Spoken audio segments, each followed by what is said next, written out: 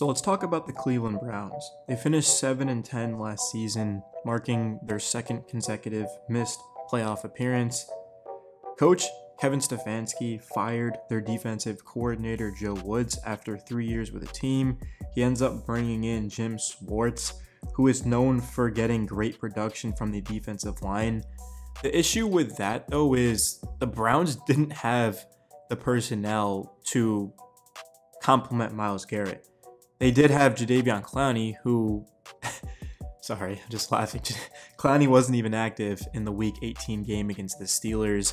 He was complaining about lack of playing time. He was even complaining that Garrett was getting star treatment. Pretty much just a bunch of nonsense. I mean, I do agree with him that there were games that the Browns simply just didn't show enough effort. Like for example, and if you want to go back to the Christmas Eve game where they were facing the Saints, it was what six degrees out, one of their coldest games ever, and they lost 17 to 10. The Saints play in a dome, by the way. There was some loss to the season where Cleveland just they didn't make the right plays, and regardless, they were missing Deshaun Watson for 11 games due to a suspension. They still went 7 and 10. So you add in this new personnel that I'm about to get into. You add in, of course, a full season now of Watson. The Browns look extremely promising. Before I get into the rest of the video though, if you guys are a fan of the Cleveland Browns, you've come to the right place. I haven't made a video in a while on your team, but I'm super intrigued by it. I'm actually listing them as the winners of the offseason so far. I love what the Panthers have done. I love what the Lions have done and some other teams, but Cleveland, they were just absolutely garbage against the run last season. They were the second worst team. We'll get into Dalvin Tomlinson in a second here, but what about the addition of Ogbonnia? Oh God. Okoronkwo? Last season with the Houston Texans, he finished the season racking up five sacks in six games. He's just 27 years old. He hasn't had the most amount of playing time, so the Browns are betting that he's going to take his game to the next level. Similar to trading for Elijah Moore, right? You're hoping that these guys can take their game to the next level. And if they do, we're talking about Cleveland being the best team in the AFC. Kansas City, Cincinnati, Buffalo, I get it. But if Watson again gets back to his old self, you now add in that deep threat and Moore You can also run routes. you can play uh, outside, you can play at the slot.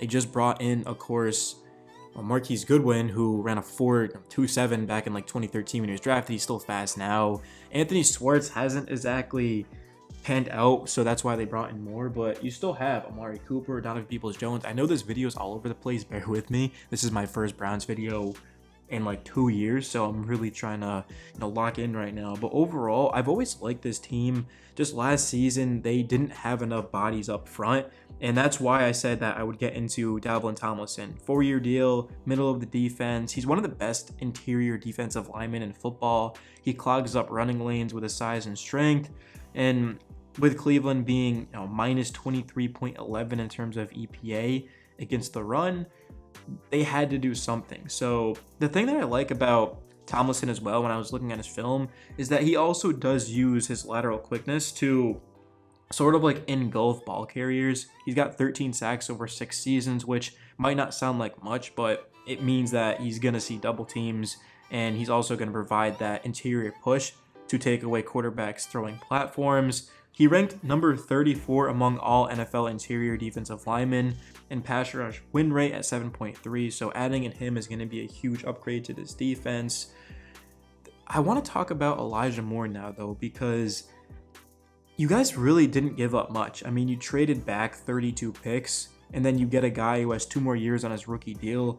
Elijah Moore has never played with a good quarterback in his career. And he is a smaller sized receiver, but he has the speed and that dynamic playmaking ability, which the Browns need. As I mentioned, you know, Anthony Schwartz hasn't been able to fill that role. Moore plays out wide 50.2% of the time, in the slot 49.6, and he's a true burner. He's going to be huge in this offense. I like that he can, of course, you know, burn teams while also being able to create underneath for the tight ends and Amari Cooper. So when you can create separation, you're an easy target. He also doesn't drop the ball. I'm looking at my notes and oh no, I did take notes on this. Okay. Yeah, so he only dropped two balls his rookie year and then last year, zero on 59 targets. So the fact that you're getting a guy with hands who can run routes and can also burn you over the middle, he's just going to be huge for this offense. So Other moves that the Browns have made, Juan Thornhill, they signed him after releasing John Johnson III. I mean, I'm pretty sure every Browns fan expected Johnson to be released after the following 2022 season. He just hasn't lived up to that contract he got. Wish him nothing but the best. He seems like a good, genuine dude, but his time as a Brown had to come to an end. Thornhill agreed to a three year, $21 million deal. He started in all 16 games he played in last season, had a career high 71 combined tackles, one sack, nine passes defended, and three interceptions. He does have two Super Bowl rings with the Chiefs, so you're getting a guy with experience coming over to your team. And he did say, I, I read an article talking about how he was like, the Browns, they look legit. We're ready to win a Super Bowl. And I feel the same way about them. They legitimately look like the best team in the AFC North right now. Love the Ravens with Lamar, love Burrow and the Bengals. Got a lot of love for the Steelers as well. But Cleveland right now, is looking like my team that I'm going to be covering in that division that I'm going to be rooting for. Hopefully, this video gets views. Like I said, if you're still watching, smash that like button. I'd appreciate it. But another move, I talked a little bit about it earlier, was bringing in Marquise Goodwin to a one year deal. I mean, he's a former third round pick. He's got blazing speed. He is going to be 33 in the middle of the season, but he has nine years of experience. So he's just a big play threat waiting to happen. I love the addition of him and Moore. And I mean, you add that in with, again, we haven't even talked about Nick Chubb.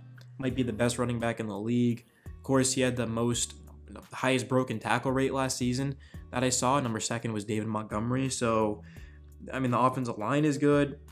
I would say the most underrated move that the Browns have made, though, and if you stay to the end, then here's a W, right?